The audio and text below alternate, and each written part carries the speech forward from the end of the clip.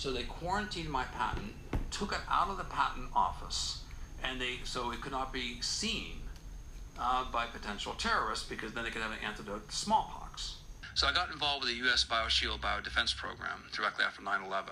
You can Google my name, Stamets, and smallpox. There's a vetted press release from the U.S. government and we found extracts that were highly active against flu viruses, against uh, including bird flu, um, against herpes, and against pox viruses, including smallpox.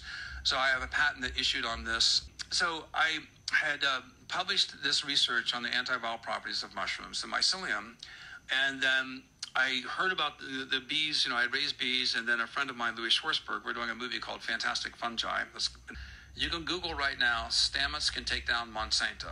There's probably a thousand websites because my patents are disruptive patents. We found that extracts of this mushroom are dually active against bacteria and viruses. Most people who die from viral pneumonia actually die from bacterial pneumonia. They get a viral infection. They, oh, their immune system over amps, and as a response, they get flood, lungs get flooded with liquid. Bacteria set up, and bacterial pneumonia usually kills people who actually get a flu virus. They die from bacterial pneumonia. This has now led on to um, our discovering uh, molecules active against HPV, the human papillomavirus. That's a very controversial vaccine, apparently. It's very dangerous. Well, the, it, I'm not anti-vaccination, but no, I am not either. But, but, I'm curious why they don't recommend the vaccine after the age of 24. We have found five molecules authenticated by NIH Virology as being potently active against HPV. Which mushrooms?